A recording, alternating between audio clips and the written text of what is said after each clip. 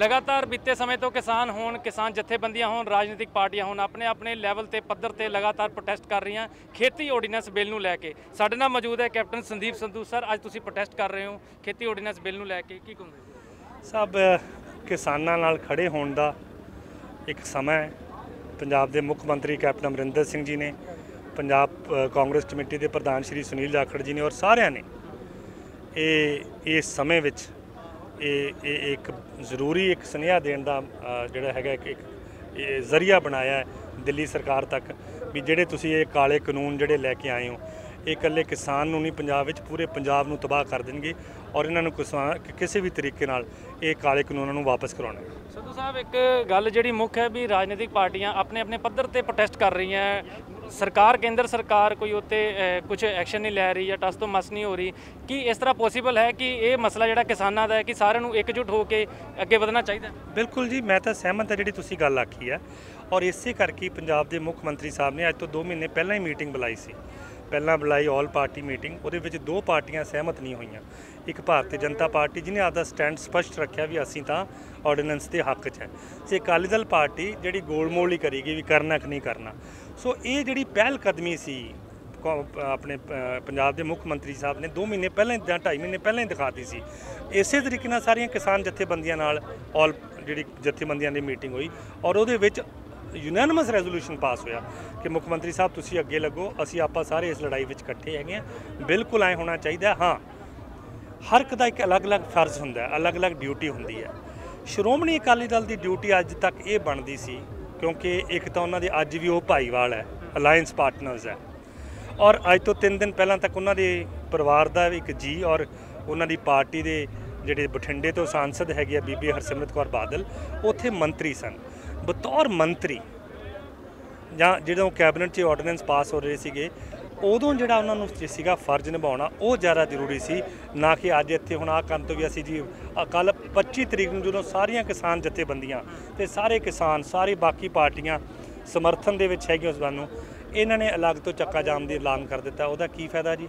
ਇਹਦਾ ਮਤਲਬ ਆਪਾਂ ਜਿਹੜੀ ਇਹ ਇਹ ਅੱਜ ਅੱਜ ਜਿਹੜੀ ਇਕਮੁੱਠਤਾ ਹੈਗੀ ਹੈ ਲੱਗਦਾ ਹੈ ਕਿ ਯੂਨਿਟੀ ਨਾਲ ਅਗਰ ਅਸੀਂ ਪ੍ਰੋਟੈਸਟ ਕਰਦੇ ਹਾਂ ਕੁਝ ਬਦਲਾਅ ਦੇਖਣ ਨੂੰ ਮਿਲ ਸਕਦੇ ਨੇ। ਜਿਹੜਾ ਰਾਜ ਸਭਾ 'ਚ ਪਾਸ ਹੋ ਗਿਆ ਲੋਕ ਸਭਾ 'ਚ ਪਾਸ ਹੋ ਗਿਆ ਹੁਣ ਨਕਸ਼ੇ ਕਦਮ ਵੱਲ ਵੱਧ ਰਿਹਾ ਹੈ ਲਾਗੂ ਹੋਣ ਦੇ ਕੀ ਲੱਗਦਾ ਕੀ ਸੰਭਾਵਨਾ? ਦੇਖੋ ਸਾਡੀ ਤਾਂ ਇਹੀ ਬੇਨਤੀ ਹੈ ਜੀ ਦੇਸ਼ ਦੇ ਰਾਸ਼ਟਰਪਤੀ ਸਾਹਿਬ ਨੂੰ ਔਰ ਪੰਜਾਬ ਦੇ ਮੁੱਖ ਮੰਤਰੀ ਸਾਹਿਬ ਨੇ ਵੀ ਇਹ ਗੱਲ ਆਖੀ ਹੈ ਕਿ ਉਹਨਾਂ ਨੂੰ ਬੇਨਤੀ ਕਰਾਂਗੇ। ਉੱਥੇ ਬੇਨਤੀ ਨਹੀਂ ਪ੍ਰਵਾਨ ਹੋਈ ਤਾਂ ਜਿਹੜੀਆਂ ਸਾਡੀਆਂ ਮਾਨਯੋਗ ਅਦਾਲਤ ਹੈਗੀ ਹੈ ਉਹਨਾਂ ਵਿੱਚ ਜਾਵਾਂਗੇ। ਇਹ ਕਾਲੇ ਕਾਨੂੰਨਾਂ ਨੂੰ ਲਾਗੂ ਹੋਣ ਤੋਂ ਮਤਲਬ ਲਾਗੂ ਨਾ ਹੋਣ ਇਹ ਉਸ ਲਈ ਹਰ ਸੰਭਵ ਕੋਸ਼ਿਸ਼ ਕੀਤੀ ਜਾਏਗੀ। ਸਭ ਦੇਖਿਆ ਜਾਵੇ ਕਿ ਕਿਸਾਨ ਅੱਜ ਪ੍ਰੋਟੈਸਟ ਕਰ ਰਿਹਾ ਲਗਾਤਾਰ ਆਪਣੇ ਆਪਣੇ ਪੱਧਰ ਤੇ ਪ੍ਰੋਟੈਸਟ ਚੱਲ ਰਹੇ ਨੇ ਲੇਕਿਨ ਸਰਕਾਰ ਹਾਲੇ ਵੀ ਕਹਿ ਰਹੀ ਹੈ ਕਿ ਇਹ ਕਿਸਾਨਾਂ ਦੇ ਹੱਕ ਦੇ ਵਿੱਚ ਨੇ। ਦੇਖੋ ਇਹ ਤਾਂ ਸ਼੍ਰੋਮਣੀ ਅਕਾਲੀ ਦਲ ਵੀ ਕਹਿ ਰਿਹਾ ਸੀ। ਪਰਸੋਂ ਵੀ ਜਦੋਂ ਬੀਬਾ ਜੀ ਨੇ ਅਸਤੀਫਾ ਦੇਣ ਤੋਂ ਬਾਅਦ ਇੱਕ ਟੀਵੀ ਚੈਨਲ ਤੇ ਬੋਲੇ ਆ ਕਿਸੇ ਤੇ ਉੱਥੇ ਉਹਨਾਂ ਨੇ ਸਪਸ਼ਟ ਲਫ਼ਜ਼ਾਂ 'ਚ ਆਖਿਆ ਕਿ ਮੈਂ ਅੱਜ ਵੀ ਮਹਿਸੂਸ ਕਰਦੀ ਹਾਂ ਕਿ ਇਹ ਕਿਸਾਨ ਵਿਰੋਧੀ ਨਹੀਂ ਬਿੱਲ ਕਿਸਾਨ ਵਿਰੋਧੀ ਕਿਸਾਨ ਕਹਿ ਰਹੇ ਆ। ਸੋ ਇਹ ਜਿਹੜੀ ਤੁਸੀਂ ਗੱਲ ਆਖੀ ਕਿ ਜਦੋਂ ਤੁਸੀਂ ਇਸ ਕਿਸਮ ਦੀ ਮਨਸ਼ਾ ਲੈ ਕੇ ਚੱਲ ਰਹੇ ਹੈਗੇ ਹੋ, ਫਿਰ ਤੁਸੀਂ ਕਿਵੇਂ ਕੋਈ ਕਿਸੇ ਕਿਸਮ ਦਾ ਯੋਗਦਾਨ ਪਾ ਸਕਦੇ ਹੋ ਇਸ ਮੁਹਿੰਮ ਵਿੱਚ? ਇਹ ਜਿਹੜੀ ਸੋਚ ਹੈਗੀ ਇਹਦੇ ਵਿੱਚ, ਕਿਉਂਕਿ ਜੇ ਅੱਜ ਅਸੀਂ ਇਕੱਠੇ ਨਾ ਹੋਏ, ਔਰ ਔਰ ਤੁਹਾਡੀ ਗੱਲ ਜਿਹੜੀ ਤੁਸੀਂ ਸਵਾਲ ਪੁੱਛਿਆ, ਜੇ ਅਸੀਂ ਇਹ ਆਵਾਜ਼ ਬੁਲੰਦ ਕਰਾਂਗੇ, ਔਰ ਇਹ ਆਵਾਜ਼ ਜਦੋਂ ਬੁਲੰਦ ਹੋ ਕੇ ਦਿੱਲੀ ਤੱਕ ਪਹੁੰਚੂਗੀ ਜਿਹੜੀ ਅੱਜ ਤੱਕ ਉਹ ਗੱਲਾਂ ਕਰਦੇ, ਇਹਦਾ ਫਾਇਦਾ ਬਈ ਜੇ ਫਾਇਦਾ ਹੁੰਦਾ ਹੋਵੇ ਤਾਂ ਕਿਹਦਾ ਦਿਲ ਕਰਦਾ ਮਹਾਮਾਰੀ 'ਚ 144 ਤੋੜ ਕੇ ਐਂ ਟਰੈਕਟਰ ਲੈ ਕੇ ਇਹ ਇਸ ਚੀਜ਼ ਦਾ ਸਮਰਥਨ ਕਰੇ ਵੀ ਭਾਈ ਇਹ ਬਿੱਲ ਵਾਪਸ ਲਿੱਤੇ ਜਾਣ? ਕਿਹਦਾ ਦਿਲ ਕਰਦਾ ਸਭ? ਹਰ ਹਰ ਕੋਈ ਆਪਦੀ ਜਾਨ ਜੋਖਮ ਤੇ ਪਾ ਕੇ ਤੁਰਿਆ ਫਿਰਦਾ ਕਿਉਂ ਪਾਇਆ ਹੋਇਆ? ਕਿਉਂਕਿ ਉਹਨੂੰ ਦਿਖ ਰਿਹਾ ਵੀ ਉਹਦੇ ਢਿੱਡ ਤੇ ਲੱਤ ਵੱਜ ਰਹੀ ਹੈ। ਐਮਐਸਪੀ ਤੁਹਾਡਾ ਜਿਹੜਾ ਹੈਗਾ ਖਤਮ ਹੋ ਜਾਣਾ ਹੈ ਜਾਂ ਉਹੋ ਜਿਹਾ ਹਾਲ ਹੋ ਜਾਣਾ ਜੋ ਮੱਕੀ ਦਾ ਹਾਲ ਕਰ ਰੱਖਿਆ। ਕੁਝ ਫਸਲਾਂ ਤੇ ਐਮਐਸਪੀ ਵਧਾ ਦਿੱਤੀ ਗਈ 50 ਤੋਂ ਲੈ ਕੇ 300 ਰੁਪਏ ਦਾ ਰੇਟ ਵਧਾਇਆ ਗਿਆ ਪ੍ਰਤੀ ਕੁਇੰਟਲ ਕਿਸ ਤਰ੍ਹਾਂ ਦੇਖਦੇ ਹੋ ਸਾਹਿਬ ਇਹ ਤਾਂ ਦੇਖਣ ਵਾਲਾ ਇਸ ਟਾਈਮ ਸਮਾਂ ਨਹੀਂਗਾ। ਜੇ ਆਪਾਂ ਵਧਾਉਣਾ ਸੀ ਤਾਂ ਇਸੇ ਭਾਜਪਾ ਅਕਾਲੀ ਦਲ ਸਰਕਾਰ ਨੇ ਜਦੋਂ 2019 ਚ ਚੋਣ ਜਿੱਤੀ ਹੈ ਸਭ ਤੋਂ ਇੱਕ ਵੱਡਾ ਇਹਨਾਂ ਦਾ ਨਾਰਾ ਸੀ ਸਵਾਮੀਨਾਥਨ ਜਿਹੜੀ ਰਿਪੋਰਟ ਆ ਉਹ ਜਾਰੀ ਕਰਕੇ ਲਾਗੂ ਕਰਨ ਦਾ।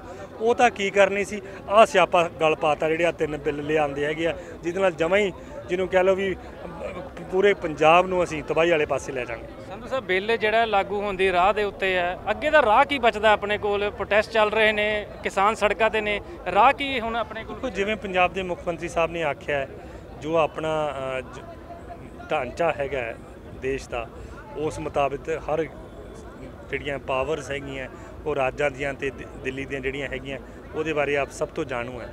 ਪਰ ਫਿਰ ਜਦੋਂ ਹੋਰ ਕੋਈ ਚਾਰਾ ਨਹੀਂ ਰਹਿੰਦਾ ਕਿ ਸਟੇਟ ਕੋਲੇ, ਤਾਂ ਜਿਵੇਂ ਪੰਜਾਬ ਦੇ ਮੁੱਖ ਮੰਤਰੀ ਸਾਹਿਬ ਨੇ ਕੁਝ ਦਿਨ ਪਹਿਲਾਂ ਇਹ ਗੱਲ ਆਖੀ ਹੈ ਵੀ ਫਿਰ ਮਾਨਯੋਗ ਜਿਹੜੀਆਂ ਅਦਾਲਤਾਂ ਹੈਗੀਆਂ, ਉਹਨਾਂ ਦੇ ਦਰਵਾਜ਼ੇ ਖਟਖਟਾਵਾਂਗੇ, ਉਹਨਾਂ ਅੱਗੇ ਬੇਨਤੀ ਕਰਾਂਗੇ ਕਿ ਆਹ ਜਿਹੜਾ ਹੈਗਾ ਕਾਨੂੰਨ ਹੈਗਾ, ਇਹਦੇ ਨਾਲ ਪੰਜਾਬ ਤਬਾਹ ਹੋ ਸਕਦਾ ਪੰਜਾਬ ਨੇ ਪਿੱਛੇ ਅੱਤਵਾਦ ਦਾ ਸੰਤਾਪ ਚੱਲ, ਚੱਲਿਆ। ਪੰਜਾਬ ਉਹ ਰਾਜ ਹੈ, ਜਦੋਂ ਜੁਆਇੰਟ ਪੰਜਾਬ ਸੀ ਔਰ ਹਰਿਆਣੇ ਦਾ ਵੀ ਉਹ ਹਾਲ ਹੋਣੀ ਹੈ।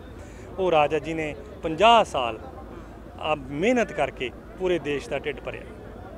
ਸੋ ਇਹ ਸਨ ਕੈਪਟਨ ਸੰਦੀਪ ਸੰਧੂ, ਜਿਨ੍ਹਾਂ ਦੀ ਅਗਵਾਈ ਦੇ ਵਿੱਚ ਅੱਜ ਵਿਸ਼ਾਲ ਰੈਲੀ ਦਾ ਆਯੋਜਨ ਕੀਤਾ ਜਾ ਰਿਹਾ। ਤਸਵੀਰਾਂ ਦਿਖਾਣਾ ਚਾਹੂੰਗਾ ਇੱਕ ਵਾਰ ਕਿ ਕਿਸ ਤਰ੍ਹਾਂ ਦਾ ਮਾਹੌਲ ਹੈ ਇੱਥੇ, ਦੇਖ ਸਕਦੇ ਹੋ ਤਸਵੀਰਾਂ ਦੇ ਵਿੱਚ ਸੈਂਕੜਿਆਂ ਦੀ ਗਿਣਤੀ ਜਿੱਥੇ ਟਰੈਕਟਰ ਪਹੁੰਚ ਚੁੱਕੇ ਨੇ, ਲੋਕ ਜੁੜੇ ਨੇ, ਜਿਹੜਾ ਇਸ ਸਮੇਂ ਖੇਤੀ ਸੁਧਾਰ ਬਿੱਲ ਦੇ ਵਿਰੋਧ ਦੇ ਵਿੱਚ ਇੱਥੇ ਇਕੱਠੇ ਹੋਏ ਨੇ। ਆਪਦਾ ਆਪਦਾ ਰਾਜਨੀਤਿਕ ਪਾਰਟੀਆਂ ਆਪਣੇ ਪੱਧਰ ਤੇ ਪ੍ਰੋਟੈਸਟ ਕਰ ਰਹੀਆਂ। ਲਗਾਤਾਰ ਬੀਤੇ ਸਮੇਂ ਤੋਂ ਇਹ ਪ੍ਰੋਟੈਸਟ ਸਾਨੂੰ ਦੇਖਣ ਨੂੰ ਮਿਲ ਰਹੇ ਨੇ। ਸੋ ਇੱਕ ਵਾਰ ਤਸਵੀਰਾਂ ਦੇਖ ਸਕਦੇ ਹੋ ਕਿ ਕਿਸਾਨ ਹੋਣ, ਕਿਸਾਨ ਜਥੇਬੰਦੀਆਂ ਹੋਣ, ਵੱਖ-ਵੱਖ ਪਿੰਡਾਂ ਤੋਂ ਇਕੱਠੇ ਹੋ ਕੇ ਇੱਕ ਜਗ੍ਹਾ ਇੱਥੇ ਪ੍ਰੋਟੈਸਟ ਕਰਨ ਪਹੁੰਚੇ ਨੇ।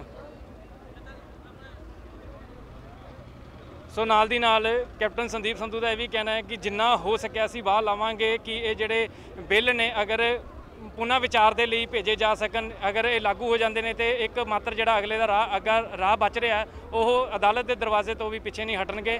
ਤੇ ਹੁਣ ਦੇਖਣਾ ਇਹ ਹੋਏਗਾ ਕਿ ਆਉਣ ਵਾਲੇ ਸਮੇਂ ਦੇ ਵਿੱਚ ਹੋਰ ਕਿਸ ਤਰ੍ਹਾਂ ਦੇ ਸਿਆਸੀ ਰੰਗ ਲੈ ਕੇ ਆਉਂਦਾ ਹੈ ਖੇਤੀ ਸੁਧਾਰ ਬਿੱਲ। ਕੈਮਰਾ ਪਰਸਨ ਹਿੰਮਤ ਸਿੰਘ ਦੇ ਨਾਲ Varun Sagar, Dainik Savera TV, Ludhiana. All world open challenge 17 time gold medalist Mian Rafiq Mohammad पंडित मौलवी बेगम तांत्रिक इन्ना चोरा ठग्गा तो सावधान स्पेशलिस्ट वशीकरण सट्टा नंबर लव मैरिज पति पत्नी च अनबन विदेश च पक्का होना कारोबार दा ना चलना सिर्फ़ 31 घंटिया विच समाधान फ्री फ्री फ्री मियाँ रफीक मोहम्मद मोबाइल 84 374 94 ਦੇਸ਼ ਦੁਨੀਆ ਦੀ ਹਰ ਵੱਡੀ ਖਬਰ ਦੇ ਲਈ ਹੁਣੇ ਡਾਊਨਲੋਡ ਕਰੋ number 1 news app Dainik Savera times